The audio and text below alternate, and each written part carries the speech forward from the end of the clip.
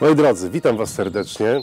Nazywam się Jan Kuroń, jestem szefem kuchni. Gotuję specjalnie dla portalu Evive. Będzie to sałatka z pieczonym kurczakiem. Zacznijmy w takim razie od kurczaka. Przygotujemy do niego marynatę. Jej bazą będzie sos sojowy. Sos sojowy jasny ma to do siebie, że jest mniej gęsty niż sos ciemny. Czosnek drobno posiekałem.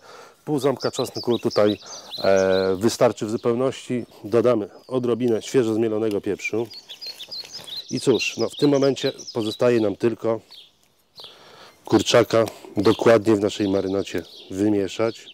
Kurczaka mamy już w piekarniku. W takim razie zabieramy się za dalszą część. Zaczniemy od sałaty masłowej. I sałatę rwiemy, myślę, że na trzy w takim razie, żeby one nie były za duże. I teraz sałatę lodową. Sałatę lodową również rwiemy Możemy ją posiekać, możemy ją porwać, tutaj nie ma najmniejszego problemu. Paprykę kroimy w, w paski. Paprykę rozmieszczamy równomiernie i teraz składniki następne. Będzie to pomidor, jak już mówiłem, pomidor sparzony.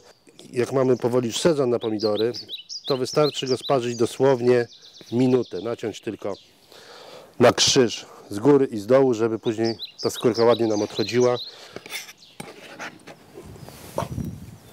Następną częścią będą czarne oliwki. Następny składnik cieciorka.